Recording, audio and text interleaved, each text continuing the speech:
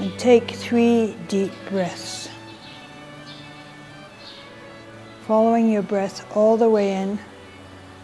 Meditation is coming back to the present moment. It's being here and now. Most of us live our lives in the past or in the future. Uh, we are never present in the moment. We worry about the future. We think about all the difficult things that happened in the past. Uh, we have resentments.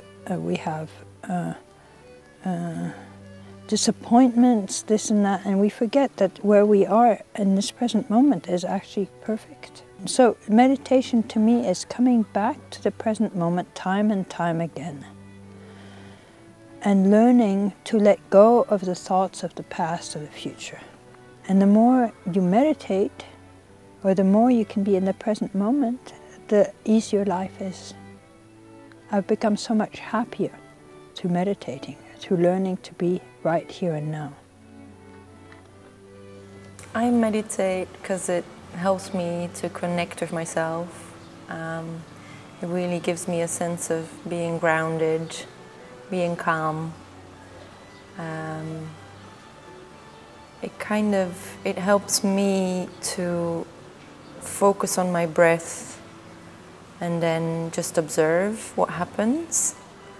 And I think by doing that on a regular basis, I kind of work through all sorts of things. Sometimes sadness, sometimes feeling really peaceful, really content. So yeah, I get all sorts of experiences by meditating.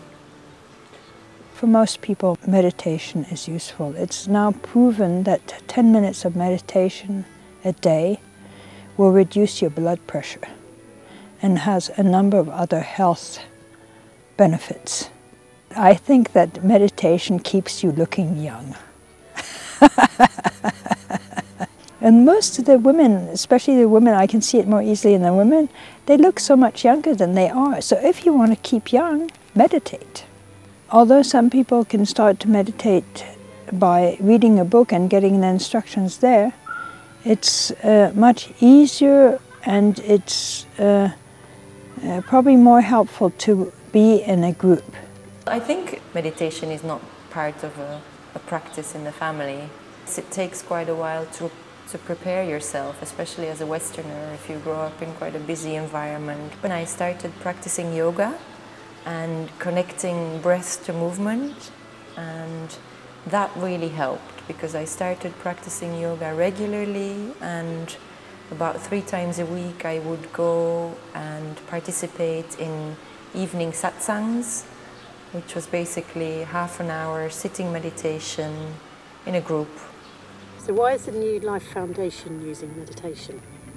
The people who come here are motivated to come out of their uh, alcohol or drug addiction or the, the depression and uh, through having gone through these things they understand that there is suffering in life and meditation is an important part of the path out of suffering. And people here definitely know what suffering is about.